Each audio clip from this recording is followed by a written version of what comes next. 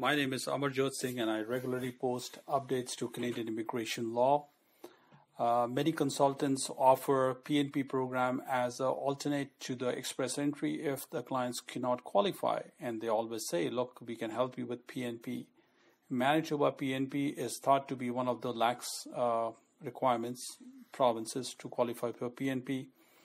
And uh, they think that you can qualify easily, even if you are working outside Manitoba on a work permit in Canada Many people will say, hey, let's go to Manitoba, then you can qualify easily. But on May 22nd, the Manitoba PNP has posted these categories where people will not be able to qualify.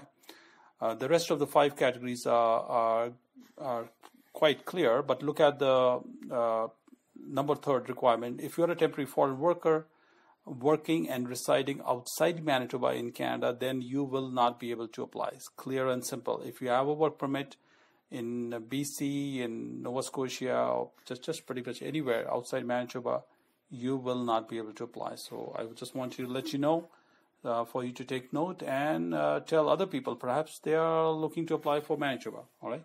Thank you very much for your time and uh, goodbye.